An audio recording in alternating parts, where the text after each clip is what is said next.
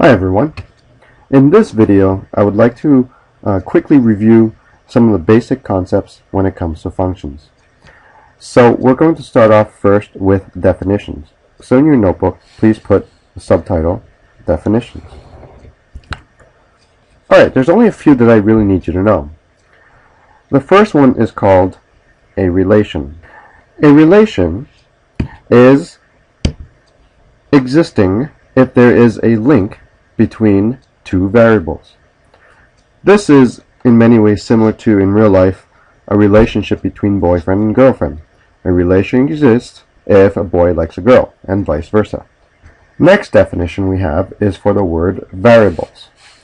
As you may have learned in the past, the word variable means quantities that can take on different values. And, of course, from science class, you know that there are two types, independent and dependent.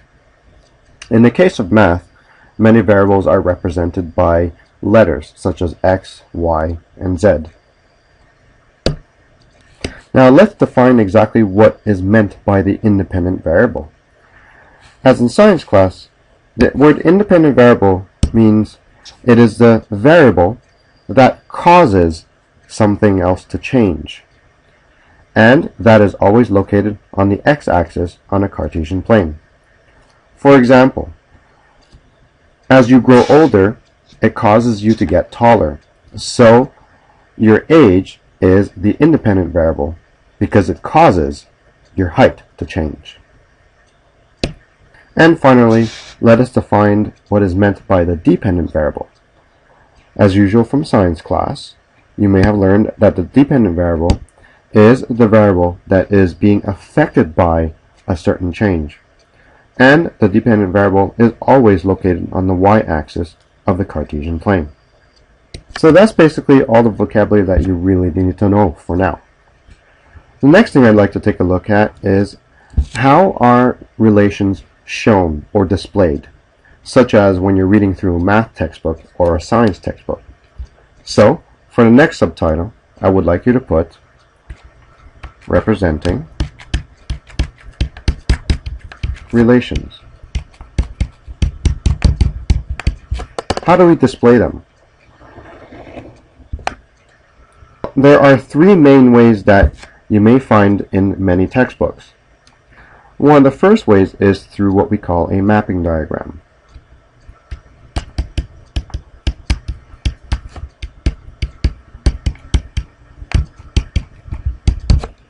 What is a mapping diagram? Well, it looks something like this.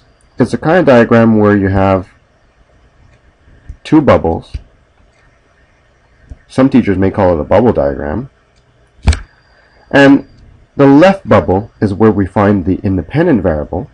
So let's say as an example, I put the names Mason, Jill, and Steph, and I connect them to the cars that they drive.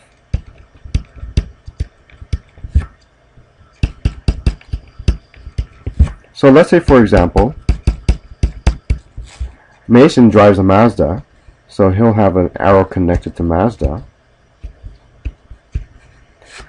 Let's say Jill drives a Honda, and lucky for Jill, she also drives a Toyota. Poor Stephanie doesn't drive any of the cars. And very important, so I'd like to put it in an important color. Like, uh, like I mentioned before, the left bubble is the independent variable, and that tends to also be called the source set. That's the independent. And the bubble on the right is usually called the target set. Also, the dependent variable. Alright, so that's what we call a mapping diagram. The second way that you might find in many textbooks, very commonly used is a Cartesian plane, or a graph.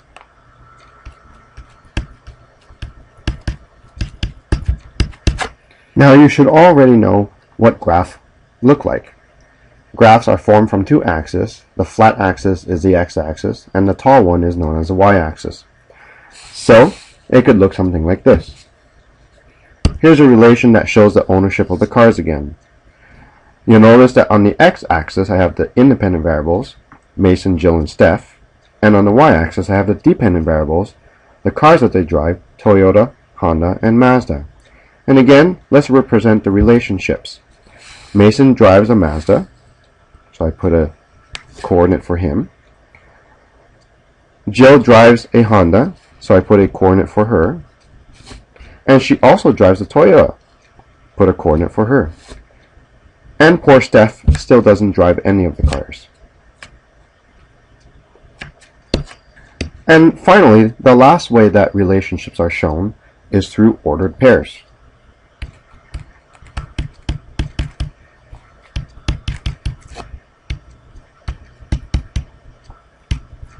How does that look like? Well, it's pretty simple actually. When we put squiggly brackets, they indicate the start of a set. And inside the squiggly bracket, we have our coordinates. Mason drives a Mazda. The next coordinate, Jill drives a Honda. And the last coordinate, Jill also drives Toyota. And since Stephanie does not have any cars, she's not even shown. And close the squiggly bracket. This is what's known as ordered pairs. So those are the three methods that relations are shown. And you'll find very quickly that in our course, we tend to show most of our relationships using graphs. Alright, finally, to finish our review of functions, I would like to look at what makes a function a function and not simply just a run-of-the-mill relationship. So please put our final subtitle for review, difference between relations and functions. There's actually a huge and very critical difference. As you may have learned in the past, a function is an extremely special type of relation where each element of the source set is attached to, at most, one element of the target set. That means that an independent variable can have one connection to a dependent variable, it can have no connection, but it cannot have two or more. The moment an independent variable has two or more connections, it makes it not a function. So it's a very, very important difference. Let's take a look at some examples like you put EX. Let's take a look at a bubble diagram. So suppose I give you two bubbles. In the source set, there's A, B, and C. And in the target set, there's 1, 2, and 3. Let's attach the A to the 1. Let's attach the C to the 2. And let's also attach the C to the 3. Here's an example of something that is not a function. Why? Well, because the C, which is an independent variable, has two connections. It is connected to the 2 and to the 3. Let's put that justification down. This is not a function since C has two images.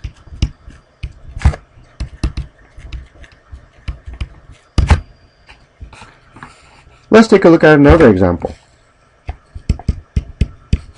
Let's try looking at some ordered pairs.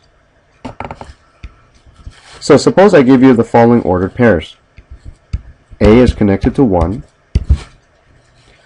B is connected to 1, C is connected to 2 and C is also connected to 1. Here's another example of a relation that is not a function. Why? Well, if you look at the element C, it's got two connections. It is connected to 2 and it's connected to 1. So let's put that down. This is not a function. Justification, since C, again, has two images.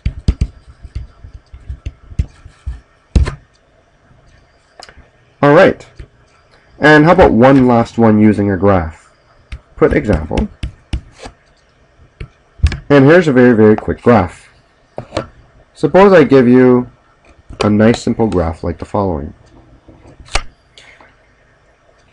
In the x-axis, I have A, B, C, and D. And on the y-axis, I have 1, 2, 3, 4.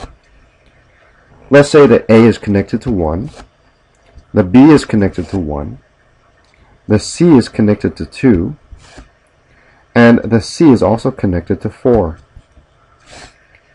Here's another example of a relation that is not a function, and again, the reason is simple, because C has two connections. The C is connected to 2 and the 4. So let's put that down. This is not a function,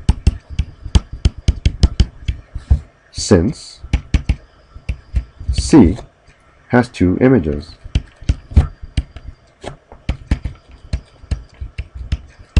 So, remember, a relation can only be considered a function if an independent variable has one or zero connections, never more than one. Now, let's finish off the tail end of our review of functions by looking at a very special type of notation. Final subtitle for today is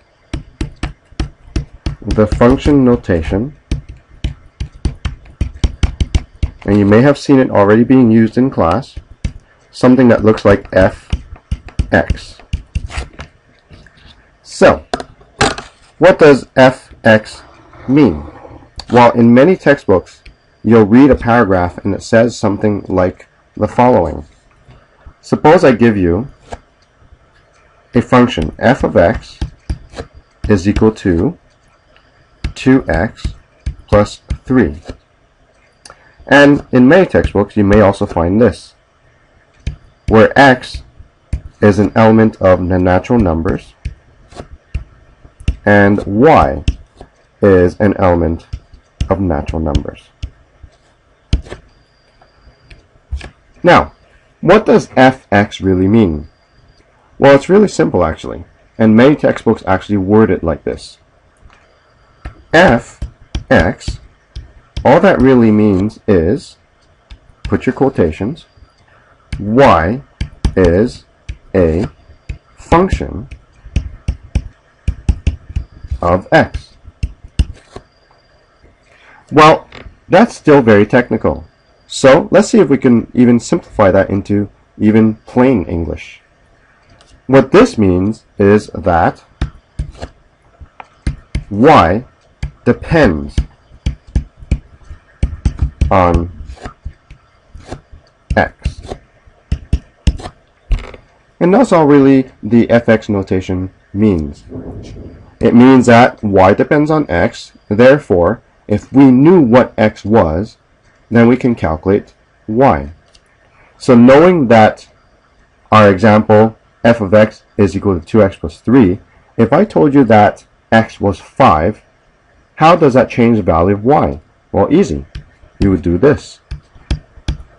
x is 5. It would change the y value by making it become 2 multiplied by 5 plus 3, which gives 13. And that is the very common fx notation. And that concludes our review of some very basics on functions.